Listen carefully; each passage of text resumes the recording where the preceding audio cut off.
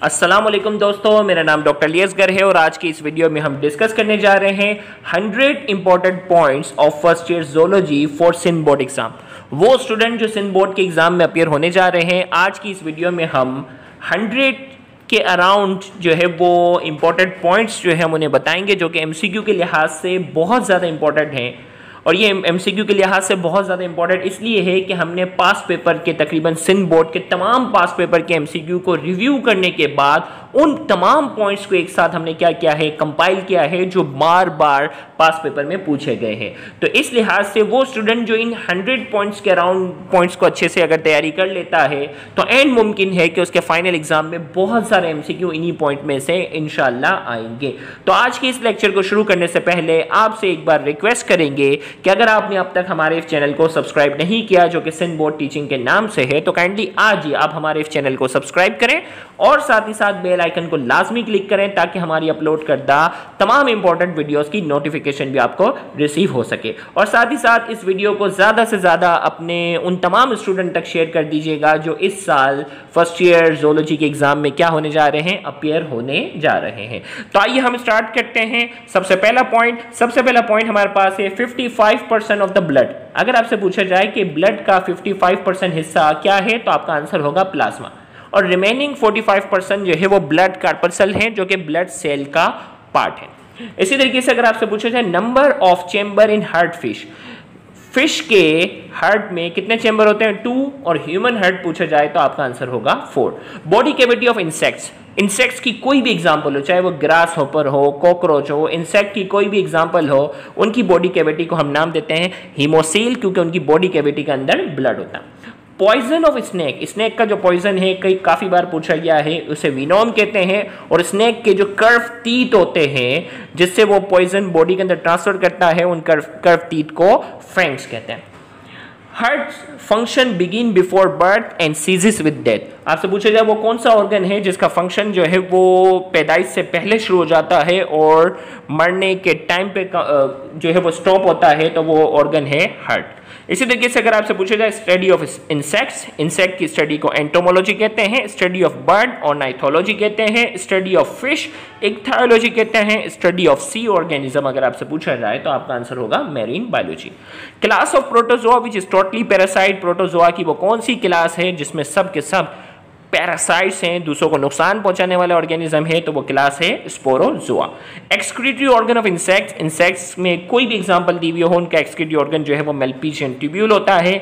Archaeopteryx is the connecting link between birds and reptiles ये एक fossil है जो पहले ज़माने के जो है वो पुराने ज़मानों में इसकी जो है वो फॉसिल जो है वो दरियाफ्त हुए और कहा जाता है, ये एक ऐसा जानदार है जो बर्ड्स और रेप्टाइल्स के दरमियान लिंक को शो करता है, यानी इसकी कुछ खसूसियत परिंदों जैसी है तो कुछ खसूसियत इसकी रेप्टाइल जैसी है। Sound producing organ in birds syrinx birds के अंदर जो साउंड प्रोड्यूसिंग ऑर्गन है, वो सैरिंग्स है एंड इन ह्यूमन बींग्स इंसानों के अंदर जो है वो वोकल कॉर्ड्स हैं, वो साउंड प्रोड्यूस करते हैं। लार्जेस्ट इन्वर्टिब्रेट्स आपसे पूछे जाए तो आपका आंसर होगा squeeze animal starts its life as a zygote कोई भी एनिमल अपनी ज़िंदगी का आगाज़ जाइगोड के तौर पर शुरू करते हैं जो सेक्शुअल रिप्रोडक्शन के ज़रिए प्रोड्यूस होते हैं। Average lung capacity of human human की जो एवरेज लंग कैपेसिटी है, वो फाइव सेंटीमीटर क्यूब है। लार्जेस्ट इंटरनल ऑर्गन जबकि आपकी बुक में सिंपल लार्जेस्ट ऑर्गन भी पूछे जाते हैं लीवर लेकिन जनरल फैक्ट आपको याद होना चाहिए कि लार्जेस्ट इंटरनल ऑर्गन जो है वो लीवर है, जबकि ओवरऑल लार्जेस्ट ऑर्गन जो है वो स्किन है। तो स्किन का ज़िक्र आपकी बुक के अंदर नहीं है, आपकी बुक में अगर डायरेक्ट पूछा जाए लार्जेस्ट ऑर्गन क्या है? लीवर है। लेकिन हकीकत में लार्जेस्ट इंटरनल ऑर्गन लीवर है और ओवरऑल लार्जेस्ट ऑर्गन जो है वो स्किन है। Electric organ are present in torpedo torpedo के अंदर इलेक्ट्रिक ऑर्गन पाए जाते हैं। Nematocytes are present in hydra hydra के अंदर नेमेटोसाइट्स पाए जाते हैं। Air sacs are present in birds. परिंदों के अंदर जो है वो एयर सेक्स पाए जाते हैं, जिसके ज़रिए वो एयर को स्टोर करते हैं। Protein part of holo is apoenzyme protein part जो है वो एपोएंजाइम कहते हैं। नॉन प्रोटीन पार्ट को हम प्रोस्थेटिक ग्रुप कहते हैं। एंटीबायोटिक्स वो केमिकल होते हैं which is required in low concentration inhibit the growth of micro organism जो बिल्कुल कम मिकदार में चाहिए होते हैं माइक्रो ऑर्गेनिज्म की ग्रोथ को रोकने के लिए। Phylum Porifera is included in Parazoa. Phylum Porifera को पैराजोआ के अंदर इंक्लूड करते हैं। In torsion twisting of visceral mass occur at 180 degree 180 degree पर एनिमल जो है वो टोर्शन के फिनोमिना में अपने आप को ट्विस्ट करता है।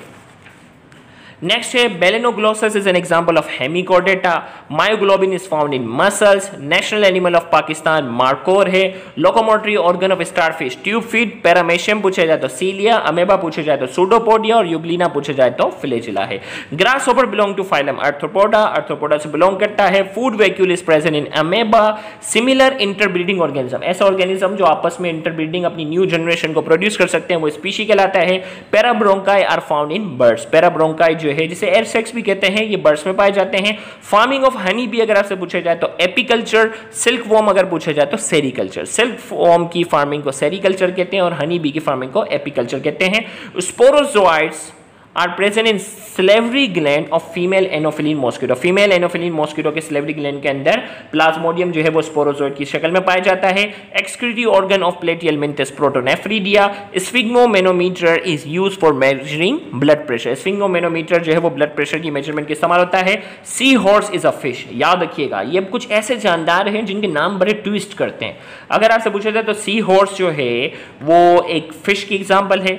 स्टार फ़िश जो है वो इकाइनोडर्म की एग्ज़ाम्पल है, जबकि ये फ़िश नहीं है। सिल्वर फ़िश एक इंसेक्ट की एग्ज़ाम्पल है, ये फ़िश नहीं है। जेली फ़िश नाइडेरिया से ताल्लुक रखता है और ये भी फ़िश नहीं है। तो सी हॉर्स एक फ़िश है स्टार फ़िश भी फ़िश नहीं है सिल्वर फ़िश भी फ़िश नहीं है जेली फ़िश भी फ़िश नहीं है।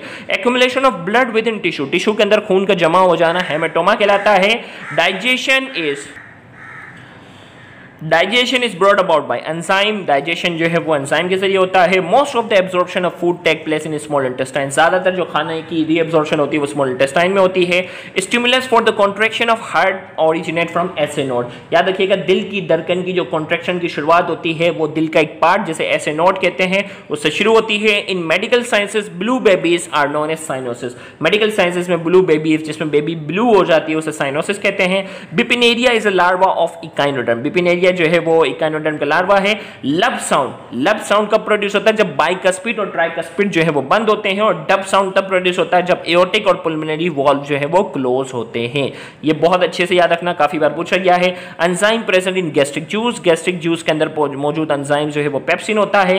Prawn belong to class crustacean and phylum arthropoda अगर आपसे पूछा जाए प्रोन कौन सी क्लास से ताल्लुक रखता है तो आंसर होगा क्रस्टेशियन और अगर पूछा जाए कौन से फाइलम से तो आपका आंसर होगा arthropoda polysaccharide present in human muscle human muscles के अंदर पाए जाने वाला पॉलीसेक्राइड ग्लाइकोजेन है. अनकंट्रोल प्रोडक्शन ऑफ़ ल्यूकोसाइड वो कौन सी बीमारी होती है जिसमें ल्यूकोसाइड्स की जो प्रोडक्शन होती है वो अनकंट्रोल होती है? वो ल्यूकीमिया है. Blood is red due to haemoglobin blood जो है वो रेड है हीमोग्लोबिन की वजह से. In cockroach partly digested food is store in वो खाना जो पार्टली डाइजेस्टेड होता है वो किसमें स्टोर होता है? क्रॉप में. वाटर वेस्कुलर सिस्टम याद रखिएगा वाटर वेस्कुलर सिस्टम एक यूनिक फीचर है इकाइनोडर्मेट्स का. यानी इसकी कोई भी एग्ज़ाम्पल हो स्टार फ़िश सी कोकम्बर जो भी पूछा जाए, उसमें वॉटर वेस्कुलर सिस्टम पाया जाता है। नेक्स्ट हमारे पास जो है पॉइंट नंबर 49 एमनियोट्स एमनियोट्स वो होते हैं जिनके अराउंड जो है वो एक मेम्ब्रेन होती है उनकी डेवलपमेंट के दौरान। तो एमनियोट्स में कौन कौन सा आ जाते हैं? रेप्टाइल्स एव्स और मेमल्स तीनों आ जाते हैं। In cockroach blood in cockroach blood does not transport gases blood जो है वो गैसेस ट्रांसपोर्ट नहीं करता। In class cyclostomata absence of jaws cyclostomata जो है उनमें जोस नहीं होते। Most number leucocytes in present वो कौन से ल्यूकोसाइड्स हैं जो सबसे ज़्यादा पाए जाते हैं? तो आपका आंसर होगा न्यूट्रोफिल सबसे ज़्यादा।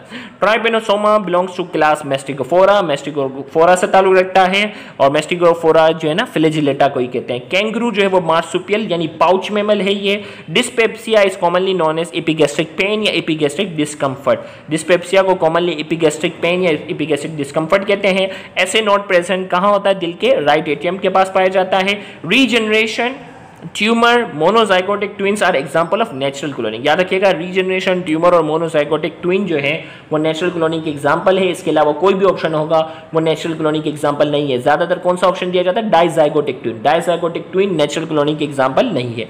ह्यूमन डेंटल फॉर्मुला आपको बहुत अच्छे से याद होना चाहिए। Incisor two by two canine one by one premolar two by two और molar three by three feed upon the fragments of decomposing material यानी ऐसे जानदार जो डीकम्पोजिंग मटेरियल के फ्रेगमेंट्स से अपने गिजा हासिल करते हैं, वो डेटरी डेट्रीवर्स कहलाते हैं। Removal of undigested food undigested food का रिमूवल इजेशन कहलाता है। Piles are known as haemorrhoids piles को हेमरॉइड्स कहते हैं। लार्वा ऑफ़ स्पंज स्पंज के जो लार्वा को एम्फीब्लास्टूला कहते हैं। नाइडेरिया के लार्वा को प्लेन्यूला कहते हैं। ये लार्वा अच्छे से याद रखना। है स्पंज के एम्फीब्लास्टूला और नाइडेरिया के प्लेन्यूला प्रोटीन डाइजेस्टिंग एंजाइम जो है, जो पेंक्रेटिक जूस के अंदर पाया जाता है, वो ट्रिप्सिन है और जो गैस्ट्रिक जूस के अंदर पाया जाता है, वो पेप्सिन है। ये दोनों अलग अलग सवाल है। ज्वाइनिंग ऑफ़ टू मोनोमर दो मोनोमर का आपस में जुड़ना कंडेंसेशन कहलाता है। In amoeba digestion is intracellular amoeba के अंदर डाइजेशन जो है वो कंप्लीटली इंट्रासेलुलर होती है। Respiratory organ of scorpion scorpion का जो रेस्पायरेटरी ऑर्गन है, वो बुक लंग्स है। Mammalian RBCs do not contain mammals के जो आरबीसीज होते हैं, उसमें न्यूक्लियस नहीं पाया जाता। मेमल्स हैव मेमल्स के कौन कौन से कैरेक्टर हैं? सेवन सर्वाइकल वर्टिब्रा और मेमोरी ग्लैंड इनके खास फीचर हैं। Human lungs contain 700 million alveoli human lungs के अंदर 700 मिलियन एल्वोलाई होते हैं। Snakes have no limbs and no ear इनके जो है वो कान भी नहीं होते और लिम्स भी नहीं होते हैं। In malaria temperature of human में rise up to 106 degree Fahrenheit malaria के अंदर जो है वो टेम्परेचर ह्यूमन बॉडी का 106 डिग्री फेरेनहाइट तक पहुँच सकता है। Volume of blood pump per minute by the left ventricle is called भाई, एक मिनट के अंदर जो लेफ़्ट वेंटिकल जो भी ब्लड पंप करता है, उसे कार्डिक आउटपुट कहते हैं। Nitrogenous base combine with pentose sugar भाई नाइट्रोजिनस बेसिस है ना? वो पेंटोज शुगर के साथ कंबाइन होती है तो क्या बनता है? Nucleoside substance present in saliva of leech prevents blood from clotting वो सब्सटेंस जो लीच के सलाइवा में पाया जाता है और खून को जमने से रोकता है, उसे हाइरोडीन कहते हैं। In planaria digested food is distributed throughout the body by diverticula planaria के अंदर जो हजम शुदा खाना पूरी बॉडी में जो डिस्ट्रीब्यूट होता है, वो डायबिटिकुला के ज़रिए ट्रांसपोर्ट होता है। नेक्स्ट हमारे पास है कम्पिटेटिव इनहिबिटर जो है वो एक्टिव साइड पर अटैच होते हैं एंजाइम्स को रोकने वाले जो होते हैं ना, वो इनहिबिटर कहलाते हैं। अब इसकी दो टाइप है कम्पिटेटिव इनहिबिटर एक्टिव साइड पर अटैच होते हैं और non competitive inhibitor allosteric site पर क्या होते हैं अटैच होते हैं। Amoebiasis is caused by entamoeba histolytica amoebiasis entamoeba histolytica भी ऐसा होता है। Worm like and motile zygote of plasmodium is ookinete याद रखिएगा प्लाज्मोडियम का जो जाइगोट होता है, वो वॉर्म लाइक होता है और हरकत करता हुआ होता है, उसे ऊकाइनेट्स कहते हैं। The subunit of nucleic acid nucleic acid के जो सब यूनिट है उसे न्यूक्लियोटाइड्स कहते हैं। Lung fish belong to order dipnoi. Lung fish जो है, वो ऑर्डर डिपेनॉय से ताल्लुक रखता है। Air that is always present in the lung of human being is termed ऐसी हवा जो इंसानी लंग के अंदर हमेशा प्रेजेंट होती है, उसे क्या कहते हैं? रेजिडुअल वॉल्यूम कहते हैं। Most of the enzymes are highly active at 37 degree centigrade ज़्यादातर एंजाइम जो है वो 37 डिग्री सेंटीग्रेड पे एक्टिव होते हैं। एस्थमा जो है वो पोलन डस्ट और एनिमल फर की वजह से होता है, जबकि लंग कैंसर स्मोकिंग की वजह से हो सकता है। ट्यूबरकुलोसिस माइकोबैक्टीरियम ट्यूबरकुलोसिस की वजह से होता है, और एम्फाइसीमा सल्फ़र डाइऑक्साइड जो इंडस्ट्रियल गैसेस जो होते हैं, उसकी वजह से होता है। हाइपरटेंशन को साइलेंट किलर कहते हैं। Human sex hormone are classified as steroid human sex hormone चाहे ईस्ट्रोजन हो प्रोजेस्ट्रॉन हो टेस्टोस्टेरोन हो, वो स्टेरॉइड की एग्जांपल है। न्यूक्लिक एसिड और प्रोटीन जब कंबाइन होते हैं तो न्यूक्लियोप्रोटीन बनता है। कार्बोहाइड्रेट और प्रोटीन जब कंबाइन होते हैं तो ग्लाइकोप्रोटीन बनता है। और लिपिड और प्रोटीन आपस में कंबाइन होते हैं तो लाइपोप्रोटीन बनता है। और कार्बोहाइड्रेट और लिपिड आपस में कंबाइन होते हैं तो ग्लाइकोलिपिड बनता है। Animal having false body cavity ऐसे एनिमल जिनकी बॉडी कैविटी फॉल्स होती है, जैसे नीमोटोर्स की बात करते हैं सूडोसिलोमेटा होते हैं नो बॉडी कैविटी जिनके पास बॉडी कैविटी नहीं होती, जैसे फाइलम प्लेटियल मेंटिस की बात करते हैं, वो ए सिलोमेट्स होते हैं ट्रू बॉडी कैविटी वाले जो हैं सिलोमेट्स हैं, जो कि एनिलीडास फाइलम एनिलीडा से लेकर कोडेटा तक सारे सिलोमेट्स हैं। Alternation of generation is the most important characteristics of coelenterates alternation of generation जो है, वो मोस्ट इंपॉर्टेंट कैरेक्टरिस्टिक्स है, वो सीलेंट ट्रेट्स का है। कंप्लीट वेंटिलेशन रेस्पिरेशन की अगर हम बात करते हैं ब्रीथिंग की बात करते हैं तो कंप्लीट वेंटिलेशन का जब भी वर्ड आए, वो बर्ड्स के अंदर होती है और इनकम्प्लीट वेंटिलेशन जो है एम्फीबियन के अंदर। ये दो कॉमन पॉइंट है। Honey bee have has specialise mouth for chewing and lapping honey bee का जो माउथ अल्लाह ताला ने दिया है, वो स्पेशलाइज होता है चूइंग और लैपिंग के लिए। Carrying blood away from heart वो ब्लड वेसल जो ब्लड को दिल से दूर लेकर जाएगी, वो आर्टरी है कैरिंग ब्लड टुवर्ड्स हार्ट जो दिल के करीब लेकर आएगी, वो वेन है साइट ऑफ़ गैशियस एक्सचेंज वो ब्लड वेसल जहाँ गैशियस एक्सचेंज होती है, वो कैपिलरीज कहलाती हैं। इम्यूनोलॉजी बायोलॉजी की ब्रांच है, जिसमें हम क्या करते हैं defence mechanism of the body को स्टडी करते हैं asexually production of plasmodium जिसे शाइजोगोनी कहते हैं red red pigment in muscle myoglobin है, और इसका फ़ंक्शन जो है वो ऑक्सीजन स्टोर करना है। एग लेइंग मेमल जो है वो प्रोटोथेरिया कहलाते हैं। स्केलेटन्स ऑफ़ स्पंज जो है उसे स्पाइक्यूल्स कहते हैं। Blood clotting is initiated by platelets खून का जो जमने की शुरुआत है वो प्लेटलेट्स होती है।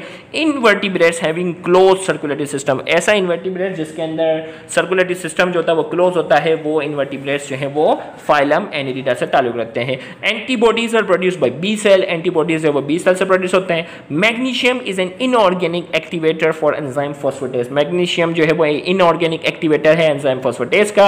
RBCs are formed in bone marrow RBCs bone marrow में बनते हैं।